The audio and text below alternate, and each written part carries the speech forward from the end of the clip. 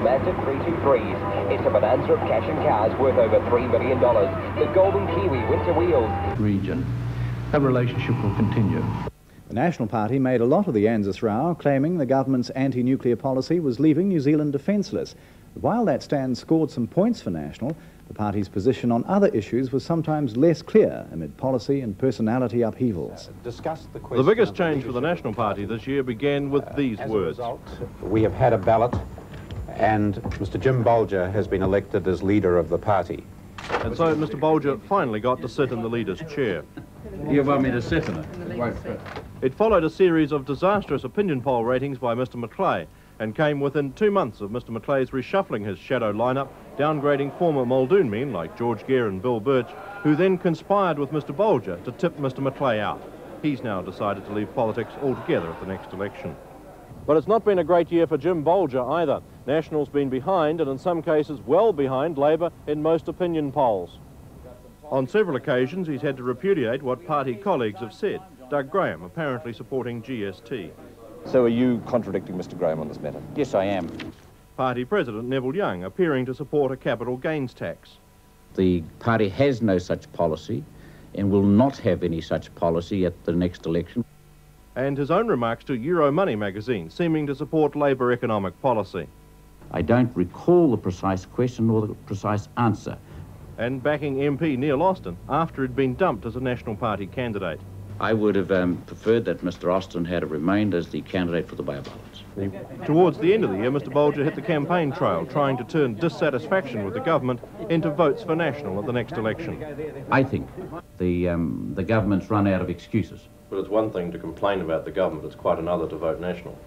Well, I believe that uh, once you start complaining about the government, you have one option left, and that's to vote for the alternative, and uh, we found that out in the 1984 election that uh, once they started to complain sufficiently about the then national government, they eventually ended up voting for the alternative.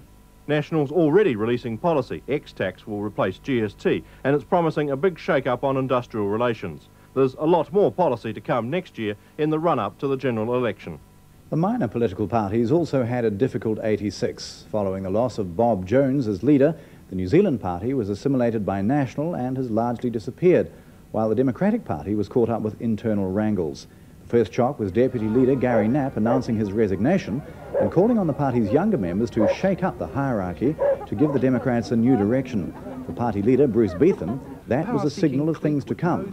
After 14 years at the helm, Mr Beetham was toppled at the annual conference in August by Pakuranga MP Neil Morrison.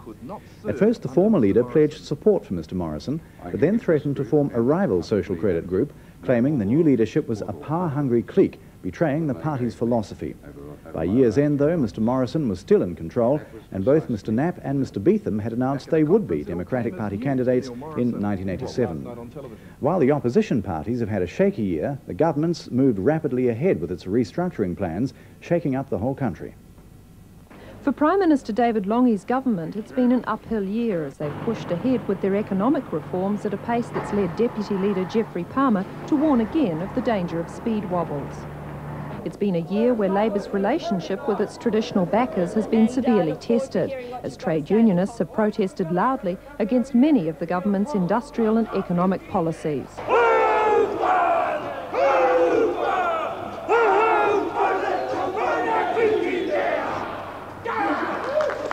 A broad left ginger group has sprouted within the party's ranks and at the annual conference finance ministers faced angry party members worried about the social effects of free market orientated change.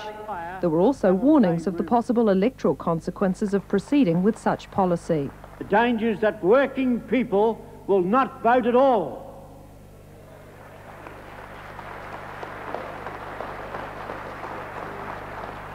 And I have to tell you, that that is their thinking at present. Yet when it came to voting, delegates heeded calls for party unity, and the left wing lost nearly all the key issues, although the conference did pass recommendations attempting to force MPs to act on conference decisions. Throughout it all, the Lange governments appeared grimly determined to hold its course, although some concessions have been made in response to fears that if things don't work, it could cost them the election next year. The Prime Minister's toured marginal regions explaining the policies and various studies are underway to try and counter the social impact of some of the changes. If there's one thing Mr Lange's learned this year, it's that keeping the economic cart under control requires a steady hand if he wants to avoid a downhill slide to electoral defeat. Westport was the centre of a major police investigation at the end of August after three people died in a fire at the Buller Unemployment Centre. The drop-in centre on the main street had long been a source of friction in the community, with allegations it was attracting an undesirable element to the town. Police left the three bodies in the burnt-out shell of the building while the cause of the fire was investigated. Later, arson was ruled out. Also at the end of August, the nation was saddened to hear that George Nepia had died at the age of 81. A 1924 invincible, Nepia was regarded as the greatest ever All Black fullback. Today, for the last time, George Nepia was lying at the entrance to his adopted meeting house here at Rangitukia. Although he was born in Wairoa, he fell in love with and married a local woman after coming back from the 1924 tour. He settled here, farming his new bride's land. Over the past three days, hundreds of mourners have come to pay their last respects and to comfort his family. Most of them have been Maori, but today they included past rugby greats with reputations like Ivan Vodanovich, Dr. Manahi Paewai, Waka Nathan, Pat Walsh, L.B. Pryor, and Bob Scott. Late this afternoon, George Nepia was buried in the churchyard across the road, not far from the land he farmed. On the industrial front this year, confrontation and compromise. The event that took centre stage in the industrial year was the Kawerau dispute, the first evidence of the growing employer militancy. Tasman Pulp and Paper delivered an ultimatum to the union they hold responsible for most of the industrial disruption. The pulp and paper workers, who are told to sign productivity and disputes agreements with the company or the whole plant would be shut down. As indeed it was, leading to a protracted and divisive row. The pulp and paper workers had little support from other unions, both in Kawerau and around the country, as most saw the dispute as a certain loser. Uh, it was harming the trade union movement to the extent that that made me realise that I'd have to get in and settle it. And I had to do some pretty tough talking and make some very hard decisions before I could settle it. And, uh, you know, you get to the stage where the workers, you get offside with them, as well as the government try to put us offside. But what must have defeated the government and their thinking was that um, uh, we were able to settle it. But the length of time it took for the dispute to be settled and the total capitulation of the pulp and paper workers to all the company demands earned both Jim Knox and the unions severe criticism for the damage it did to the union movement as a whole. Certainly it buoyed employers in other areas to adopt similar hardline tactics. One difference to industrial relations this year has been the absence of intervention from this corner. Labour Minister Stan Rodger has at least been consistent, keeping out of all disputes, leaving it up to the parties. A philosophy the government's carried over into its major reform of industrial relations legislation. Although somewhat softened by the Labour caucus, the new law will allow unions to compete to some degree for members, with a minimum of 1,000 in each union. It revamps the arbitration court and conciliation procedures, and in line with the new economy, unions and employers will have to pay for the services previously provided by the Labour Department. The state sector too faces massive changes arising from this year. Their pay system for years, based on an average of private sector rates, is up for reform they too must face the chill wind of healthy competition and market forces. A government attitude that prompted threats that public servants might well campaign against the Labour government next election. In fact, 1986 has been noted for the divisions between traditional allies, like the unions and the Labour government, and for divisions internally. The Employers Federation had the Round Table organisation, representing the top New Zealand companies attempting to usurp some of its traditional authority. The Round Table was pressuring companies not to settle high in the award round and forced up expectations themselves by doing higher in-house deals within their own companies.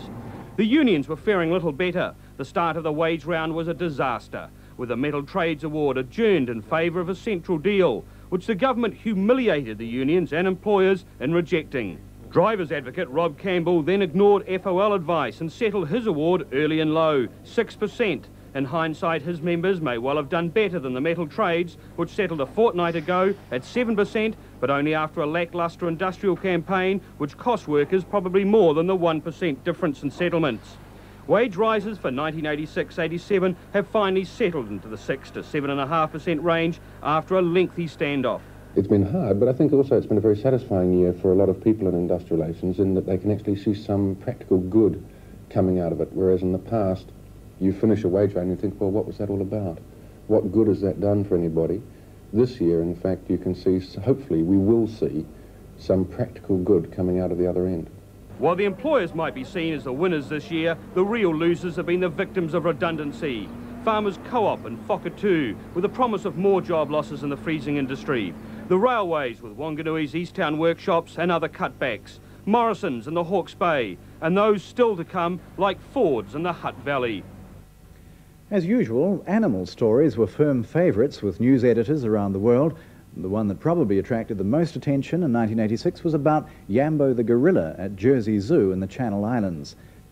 When young Levan Merritt fell six metres into the gorilla enclosure, Yambo stood guard to make sure the other gorillas didn't harm him. And as the injured boy lay unconscious, Yambo reached out and touched him, showing his concern to the world. Moments later, Levan began to regain consciousness and made a noise which startled Yambo and family. The distraction was enough to scare off the animals, and zookeepers rushed to the boy's aid. Levan recovered in hospital, and Yambo's popularity soared to new heights. Also popular, but not as public, was the panda born at Tokyo Zoo. So as not to interrupt mother and baby, zookeepers kept spectators away and used an infrared camera to monitor the youngster. Named Tonton, it's still puzzling zookeepers who have to wait a few more months before they can determine its sex. Also making its public debut was one of the few orcas or killer whales to be born in captivity. Mum was at an aquarium in Florida. Have you made your point now? Finally, at 20 past six, she began spiraling with tremendous force. Man. The youngster was a strapping 135-kilo girl and was called Baby Shamu. If she took to the water, so too did this rabbit called Hobie, who proved that it's not just humans who come up with new fads and fashions in that American state where anything can happen, California. This peculiar bunny, jacuzzi's away his care. He wants a carrot juice cocktail on the rocks, a terry cloth bathrobe and some argyle socks. Ain't nothing like a hot tub to make him feel better, except the playboy bunny in an Angora sweater. Closer to home, this youngster was born in South Auckland and turned heads when people saw her size. Born to a Timor pony mother and a Shetland father, she measured just 45 centimetres at birth. And although she's still got some growing to do, the youngster, called Jackie, will never be one of the big names in the horse world. The opposite could be said for Bonecrusher with its remarkable run of wins in Australia.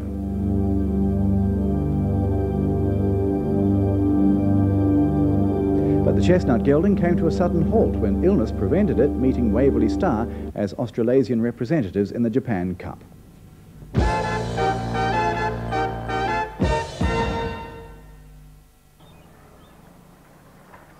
You know, in such changing times, it's nice to know some things stay the same. Hmm?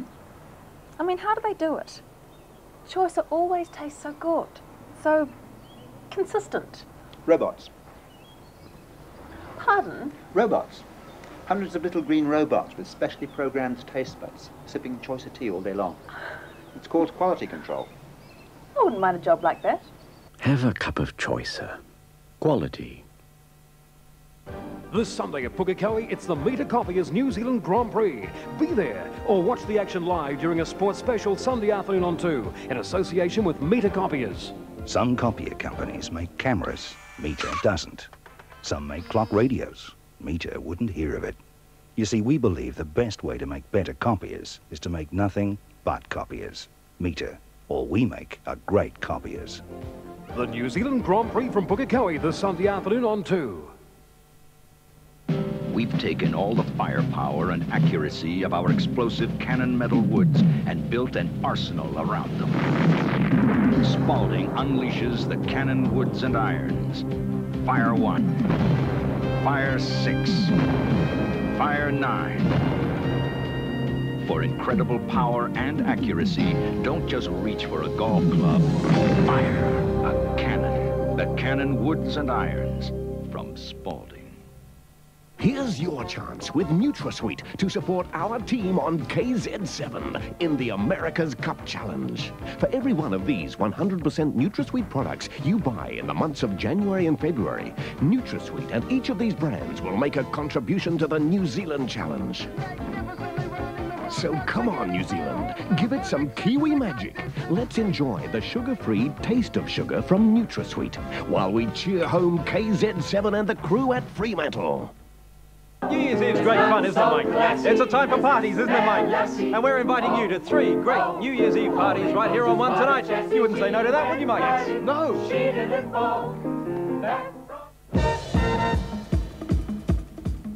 As New Zealand business expanded its horizons during 1986, Chile was targeted, and this year alone more than half a billion dollars has been invested, mostly in forestry and food processing ventures. However, the closer ties with Chile have been politically unpopular in some quarters here. Opponents point to unrest in the country. Another state of siege was declared this year following an attempt to kill the president, General Pinochet. In response, he ordered a three-month crackdown, jailing left-wing leaders, expelling foreign churchmen, ordering house-to-house searches, further muzzling the news media, and using strong-arm tactics against street demonstrations.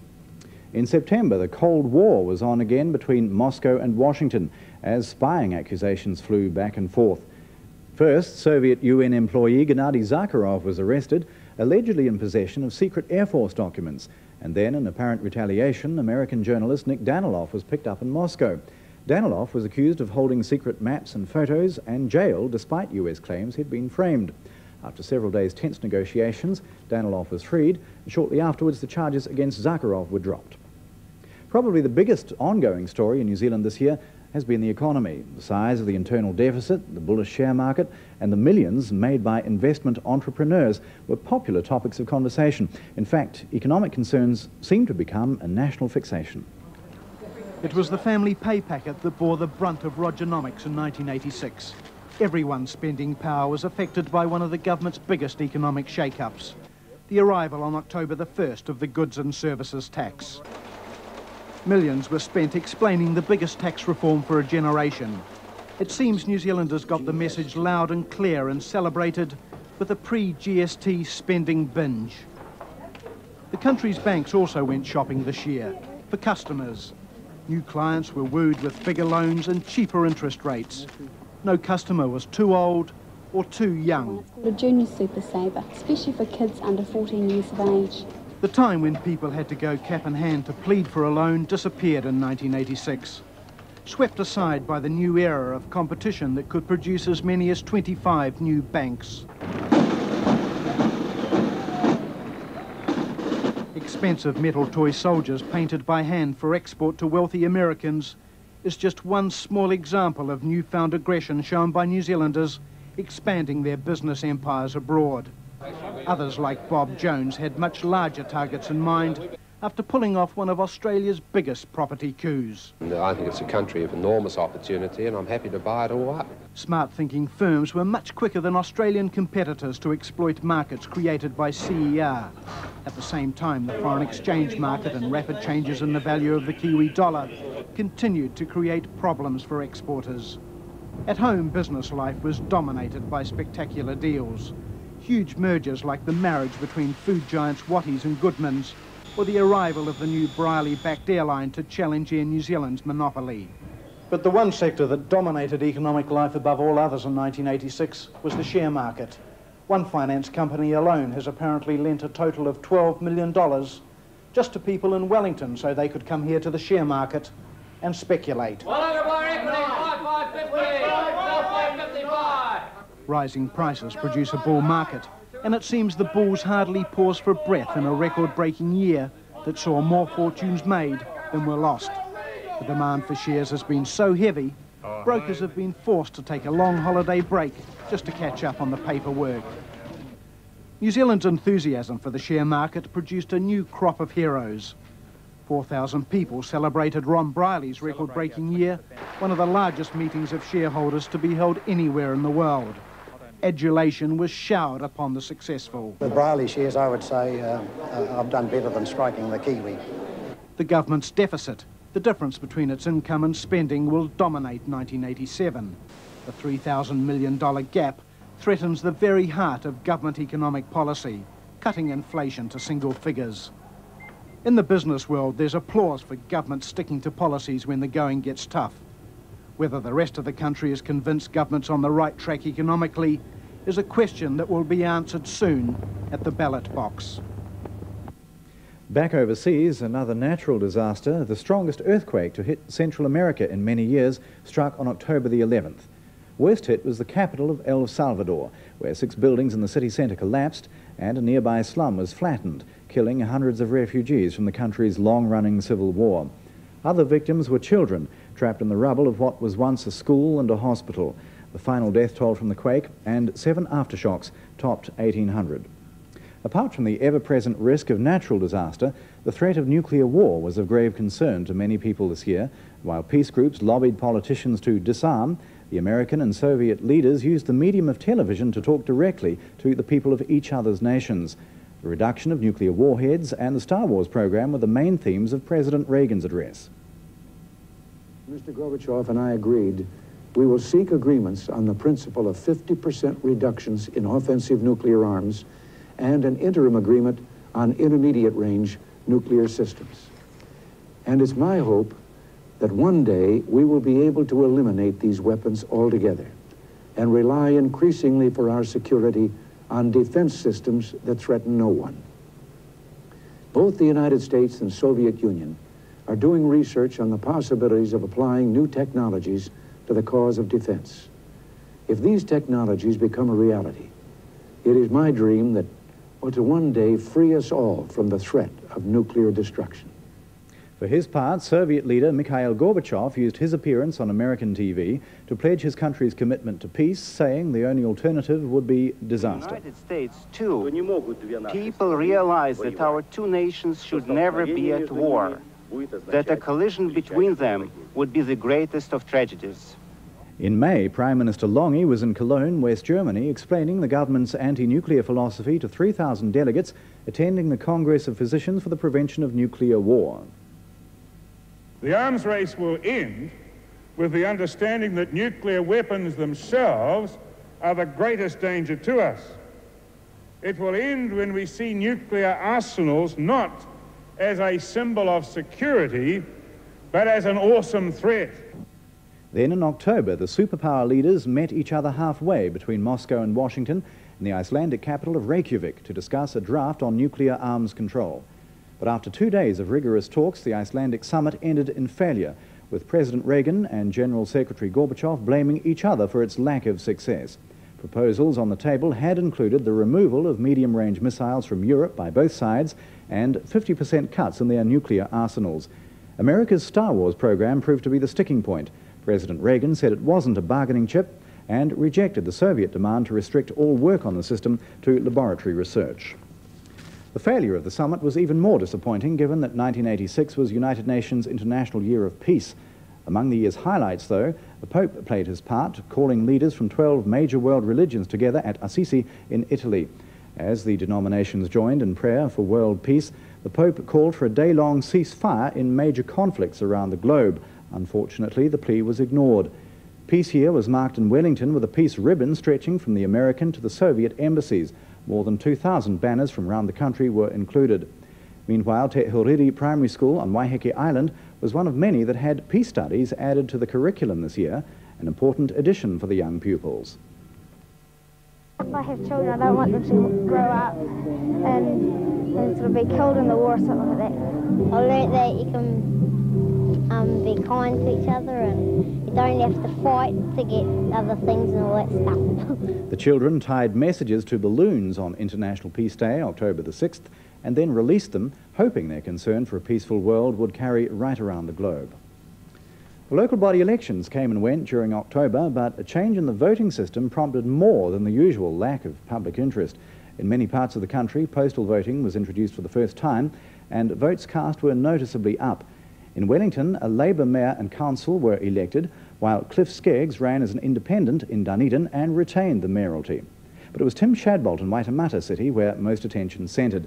There was a massive 80% voter turnout, and Tim's team won all 15 seats, with 18-year-old Judith Whibley the highest polling candidate. For Mayor of Shadbolt, the bitterness of his last term was now behind him And it just means real change out everywhere. And, uh, and let's hope it goes right through all the other cities. From now on, we're going to see a completely different type of person standing for council, and we're going to see them succeeding. And that's what the future's going to be. So good on you, everyone. We're doing it. Environmental issues came to the fore late in the year, highlighted by protest on the Coromandel and in the Waikato. West of Huntly, farmers barricaded the gates to William Blair's farm to stop state coal coming in with a drilling rig to prospect for coal. But under the law, state coal had the power to come onto his property without a licence or the owner's permission, and they did so at dawn one morning 11 days later. In the Coromandel, the opposition to mining by local residents reached a confrontation. In the Whangapoua State Forest, another drilling rig wanted to prospect for gold but protesters tramped into the forest and tried to stop it. 41 people were arrested, though none was charged. The protest meant a big contingent of police had to help the mining company to get on with its exploration. In Coromandel, as in Huntly, local people felt the miners had all the rights. But a week later, all the parties involved had reached an agreement around the table. So in 1987, they want the government to make mining like any other land use, requiring town and country planning consent and the permission of landowners before it can proceed. Indian Prime Minister Rajiv Gandhi was in the country for a short visit during October. He met business and political leaders to discuss buying agricultural and forestry technology and the sale of industrial products. During talks with the government, military cooperation wasn't a topic of discussion, but Mr Gandhi did detail India's nuclear policy, which has seen the country develop a nuclear weapon but promise not to use it. On its 40th birthday, the New Zealand Symphony Orchestra celebrated its past but got a verbal present from the Prime Minister it could have done without. Describing the orchestra as an expensive titillation for the elite, Mr Lange said he preferred the music of Dire Straits. The Prime Ministerial opinion didn't impress visiting flautist James Galway. I think it would be much better if your Prime Minister was remembered for the man who put the New Zealand Symphony Orchestra on the map, along with all the other positive aspects of New Zealand, instead of one who's going around throwing stones at his own glasshouse, so to speak.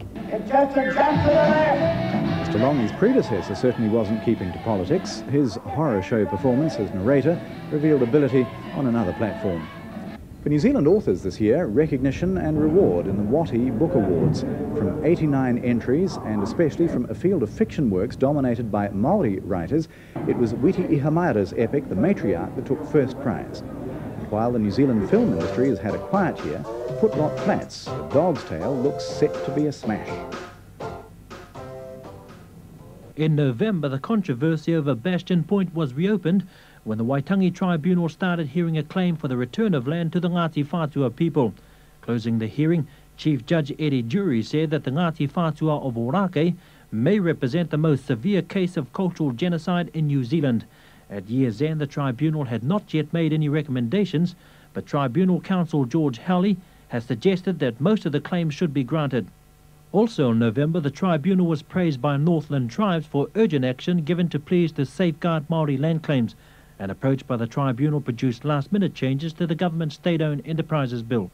But one year after tribunal recommendations to clean up the Manukau harbour and redress wrongs against Maori land and fisheries, little has been done. We've waited so long, our people, uh, you know, 146 years. We waited two years to have the case brought before the tribunal. We waited nine months for the decision, and now 12 months on, still nothing has been done. Traditional fishing rights were given legal recognition this year when the Christchurch High Court ruled in favour of a Maori man convicted of taking undersized paua. This decision is seen as a major victory in the restoration of rights promised by the Treaty of Waitangi. Earlier in the year, the tribunal recommended that Maori become an official language in government departments, local bodies and courts. Some of the tribunal's recommendations are in line with the bill introduced into Parliament last week by Maori Affairs Minister Koro Wetere, but the tribunal goes further than the bill. It wants acceptance of both written and spoken Maori as official language in courts. It wants an inquiry into the way Maori children are educated. Those who want to should be able to learn the language from an early age.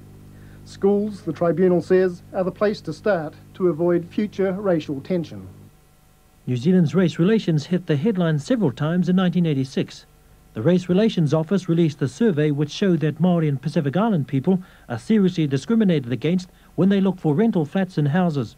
Conciliator Wally Hirsch drew flack when he coined the phrase white flight, maintaining that Pākehā parents bypassing schools with a high Maori and Polynesian roll were exhibiting racial prejudice. And former conciliator Hiwi Tauroa lashed out at the education system, blaming school principals for perpetuating a form of white superiority. Get up there and say to the members of your boards, the members who are your friends, and just simply say that Taha Māori is important to me as a New Zealander. And that will get you a little bit of rejection. Some of us are used to it. The social welfare system also came in for criticism after a year-long investigation found that many of the department's practices are discriminatory. Social Welfare Minister Ann Hercus has promised immediate steps to remedy this. And how would a woman lodge a complaint with the Race Relations Office when she had two checks dishonoured by a bank because they were written in Māori? Isabel Winita took legal advice and found there was no law against writing checks in Māori. Why do you write your checks in Māori? Because Māori is the language of my tupuna and it is the language of this country. Maori and Pākehā Roman Catholics came together this year for the visit of Pope John Paul II, the first pope ever to come to this country. He made a brief stop here on a visit to Asia and the South Pacific. It was a tight and demanding schedule for the 66-year-old pontiff. Pope John Paul stepped onto New Zealand soil and made his traditional gesture.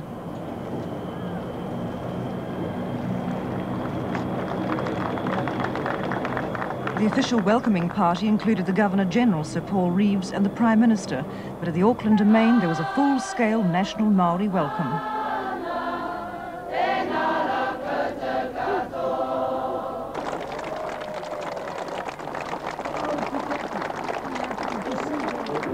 Using the specially constructed Pope Mobile, the Pontiff made a circuit of the grounds, an exercise he was to repeat in other centres he visited, and one which was clearly appreciated by young and old.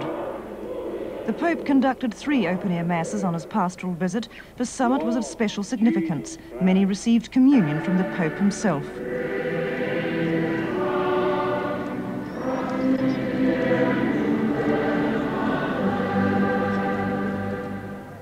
Crowds attending the masses were well below the predictions. Nevertheless, thousands of New Zealanders took the opportunity to see and hear the Pope on what was probably the only visit he will make to this country. Religious and political strife continued in Northern Ireland this year and was fueled by the signing of the Anglo-Irish Accord.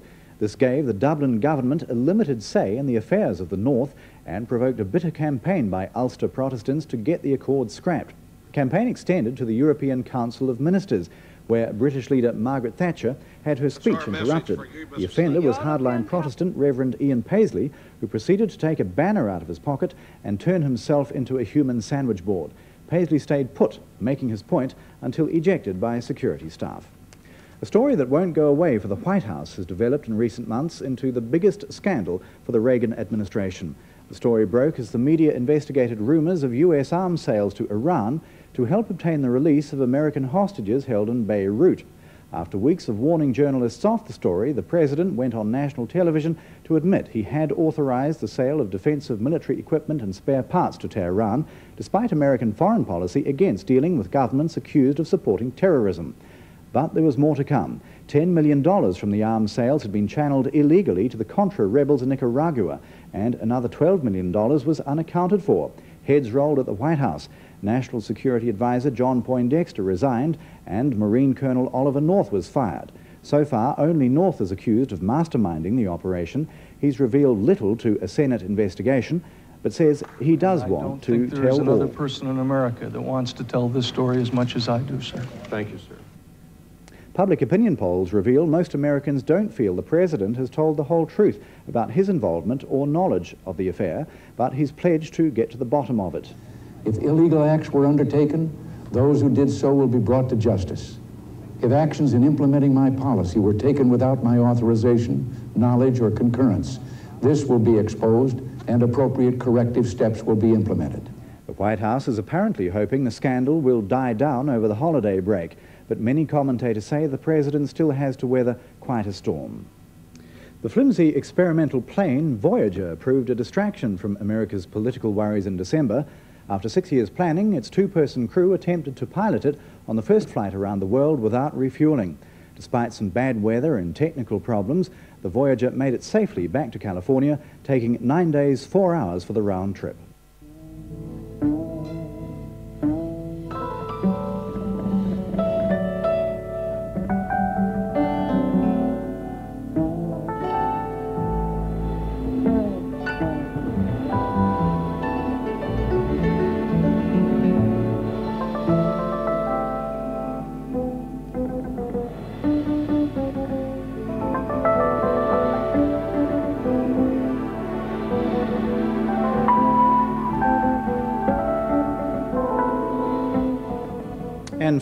To end the year on a very positive note, the America's Cup, the elite competition for 12-metre yachts which newcomer New Zealand has dominated so far.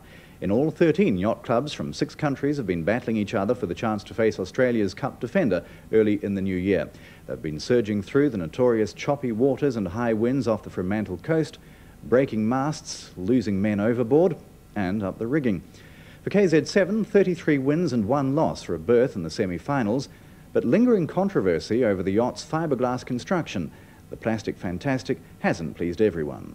Something's screwy in here. Something, something is really uh, not There's been straight. 78 12 meters built all in aluminum, and so if you want to build a glass boat, why would you do it unless you Yeah. wanted to cheat? Whoa, whoa, I don't think he should have said that. However, the retesting of KZ7's construction has revealed nothing irregular, allowing skipper Chris Dickson and crew to concentrate on just one there to win thing. every race, and we uh, we tackle each race uh, equally.